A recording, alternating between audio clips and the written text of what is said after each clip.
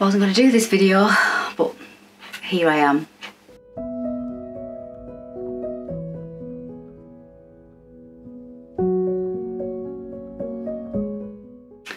Hi everyone and welcome back to my channel. So today's video is a little bit of an update where I've been for the last few months. I wasn't going to do this video because I thought A, it was going to be too emotional for me and B, I just thought it was a little bit naff. I've been thinking a lot about it and I think for me to move forward and put further videos out on my channel, I felt as if I should kind of give you an update of why I haven't been present on YouTube. So those of you that have followed me on Instagram, you'll probably know, but I'm not to cry.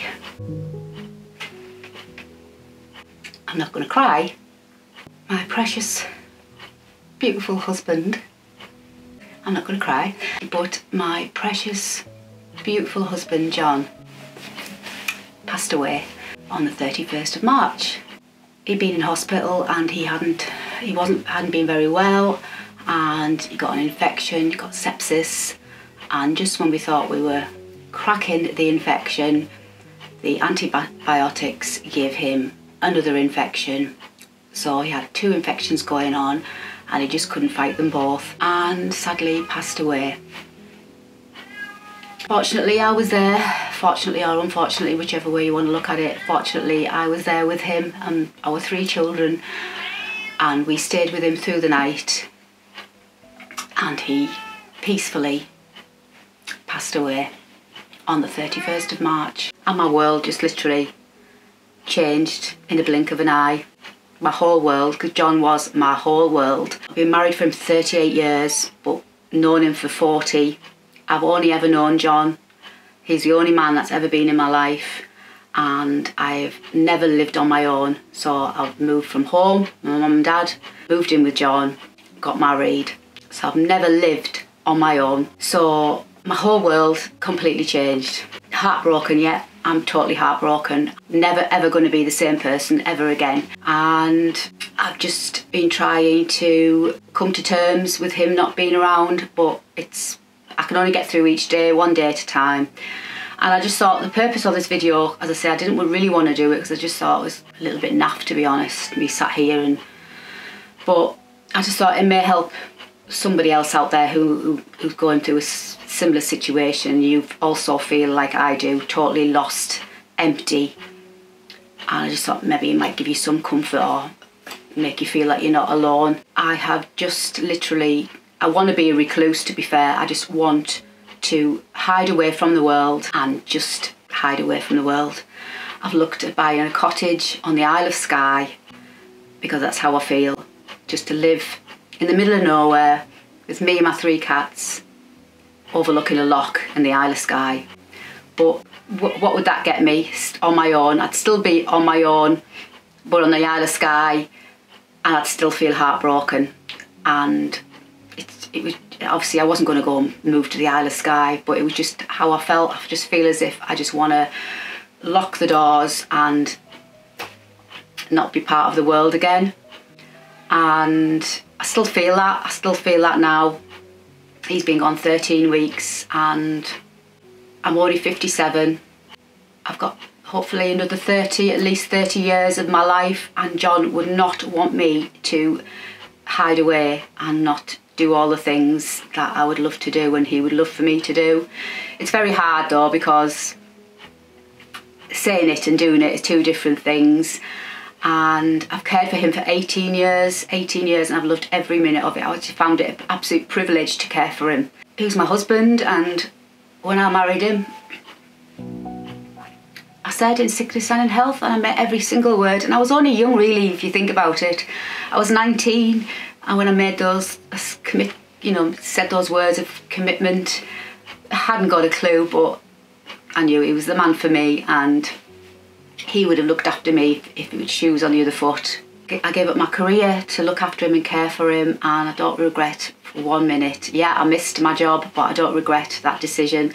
And yeah, it was just, I, I mean, I've been so lucky to, to have spent every day with him, every single day with him, 24 hours a day. he might not have thought the same mind. For 18 years, we've just been this little cocoon, and well, yeah, I mean, I think we had a really, really special relationship as well because obviously there's, there's 20 years difference between us, and I think that was one of the reasons our marriage was so strong because we had our different, you know, I, I had a different outlook on life to his outlook on life. He's had 20 years of life longer than me and we never expected anything from each other. I didn't expect him to like all my pop groups and he didn't expect me to like the Shadows and all the music that he liked, for example. We just that's what he liked that's what i liked i loved the fact that he liked those things and he loved the fact that i liked my things so we never expected to fit in or anything like that to each other we just we just accepted we just accepted we just loved each other so much and we never argued very rarely had any if we did have any arguments they would be short short arguments and they were usually generally over the kids when the kids were growing older you know who was going to discipline them and probably that's the only time we would ever argue we never argued over anything he was he literally spoilt me I was so so lucky. He gave me anything. I, I had to watch what I, I, say to him because I'd say, "Oh, that's look at that diamond ring," and he would go, "Come on, then let's go and have a look." Or, "Can we go to the Maldives?" Yeah, come on, let's book a holiday to the Maldives. Or, oh, "I've seen a new dress I like go on then, go and get that dress. Oh, he never ever said to me, you know, you can't have it. Why do you? Never. Never. He was just, he was, I was just so, I was such, so lucky. And he's not here anymore and, and it's just so hard to get through each day because he's, he's just not here and he was my life, absolute life. But obviously I've got my, we've got our three children and obviously they're grieving for losing their dad. But thankfully I've got my mum and dad who are two doors down and they're there and I see them every morning and you generally cry there every morning. And my dad was got quite upset watching me cry. So I've stopped crying when I go to see them on the morning. I try to look look a little bit happier for them. Uh, but it, that's just all the lights are on and there's no one home really. That's how I'm that's how I, I class myself at the minute you, so you may see me on Instagram you may you'll see me you know doing the things but I'm just getting through each day so the lights are on but I'm not really I'm not really home people say to me, oh, you'll get there. Where will I get? I appreciate the, the words, I think the comforting words and the kindness, but no, that, those words don't really help me. Where will I get? I won't get anywhere. I want to be with John. That's where I want to be and I won't get there. Yeah, um, and everybody's grief is different. Yeah, you can't compare. You can't compare the grief and yeah, so every day I get up and every day I say, I've got a picture of him by the side of my bed and I say, another day without you, without you darling. And get through the day. And then when I go to bed, I say, well, another day's gone without you, darling. That's how each day is for me. At one point though, I was thinking, I just can't, I'm not going to do anything. I'm just going to sit and do nothing and just turn into a, an empty shell. But I just thought John would absolutely go mad with me for doing that. And he, he just, he would be so annoyed with me. He would say, go and get it, go and do it, go and get, go and do your jobs, go and do what you've got to do, get your pattern, what, whatever. And I just thought, yeah, I can't, I can't, I, I just can't not do that. So slowly over the last few weeks, I have been working on my sewing designs and my sewing patterns and they it has helped me fill in my days because my days were just so long they still are long and so empty but by sitting and working on my patterns and you know grading and designing and doing samples and sewing the day the hours literally fly by so that's that's what I've been doing the last few weeks. I've been throwing myself into all my sewing again and it's certainly helping me and that's the way forward for me for me to get through the days and the weeks. I have a Patreon, my Patreon page, I put that on hold for a couple of months and all my patrons were just so, so lovely and so patient understood completely but my patreon is now up and running again and i'm thoroughly enjoying making creative content for my subscribers there and designing exclusive only patterns. This this is this is actually one of them the swing top and they're loving that and yeah that's really definitely giving me some kind of drive and direction to you know keep on producing the content because my patrons you know pay they subscribe they pay to watch me and create which is such a lovely feeling. It just makes me think oh people actually want you know want to watch me and prepared to give me their money to to watch me and be creative and that's all. That's just really is giving me the drive. And if, you, if you'd like to join me I'll put the link in the box below and there's all different subscription levels. Obviously my sewing patterns my latest sewing pattern launched yesterday as I'm filming this on the 30th of June. Uh, the Sadie skirt, my lovely A-line skirt. I'm so thrilled with that. And that I'm dedicating to John because I started that when John was still alive and he loved it. He loved me wearing the few versions that I'd made. And he said, Oh, that's such a pretty skirt. You look lovely. Give us a twirl. He used to say, Give me a twirl. And I thought, I'm, I'm going to finish. I wasn't going to finish it, but I thought, yeah, I'm going to finish the pattern. So I've just finished it and it's launched. And it sold really well last night on launch night. And John will be up there now going, Yeah, well done, well done. So, and I'm smiling. So if I'm smiling, it must be a good thing. So that's what I'm going to do. I've got to fill my days in. I don't go to work. I don't work. I don't, you know, I don't go to work. I need to do something to fill my time in. I just thought I'd explain to you. I didn't want this to be doom and gloom and depressing video, but obviously the sheer nature of the video, it's got to be kind of that way. But I just wanted to explain to you where where where I'd, where I'd be, how I am. I'm okay. I'm okay. I'm just not okay, if you know what I mean.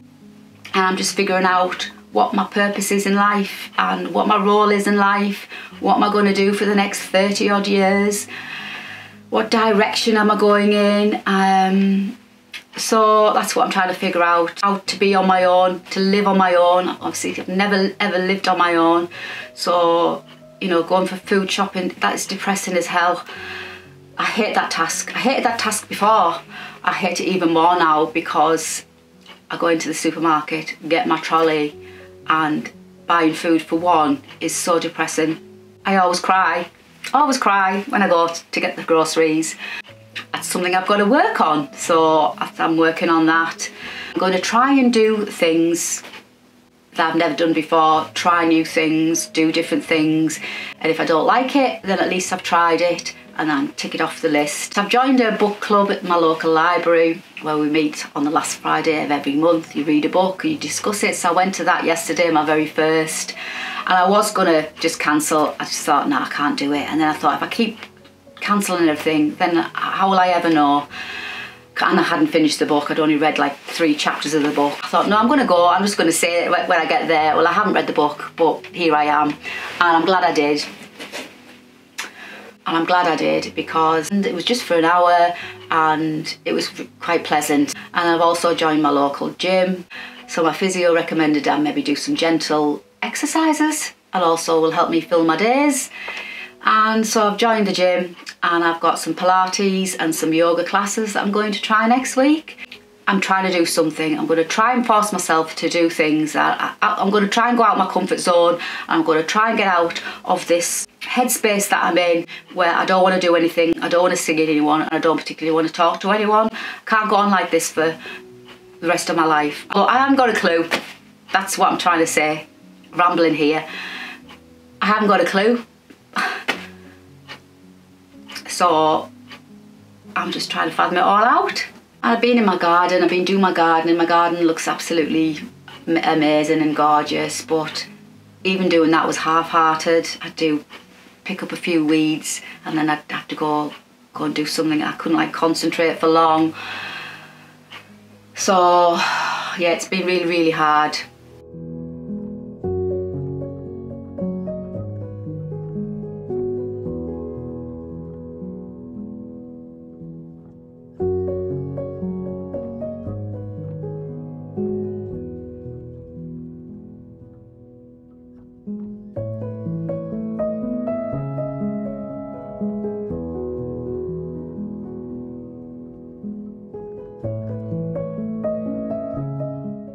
So that's where I've been. I'm going to go straight on to my next design next week. I'm just, just going to keep on going. I'm just going to keep on doing the things that gets me through each day. I'm just going to keep on dedicating everything that I do to John. And that's what's going to drive me. I know he's going to be so proud of me. And I know he would have been absolutely thrilled last night with everybody ordering the Sadie skirt sewing pattern. It was like a brilliant launch night. Thank you to all, if you have ordered the pattern, thank you so much for your support onwards and upwards, onwards and upwards. And if you'd like to join me over on Patreon for exclusive creative content and exclusive sewing patterns that you won't get anywhere else, then I would love for you to support me and join me there. Uh, I really do enjoy my Patreon. So yeah, so thank you so much for listening to me and I'll see you on my next video. Yes. And yeah. Bye for now.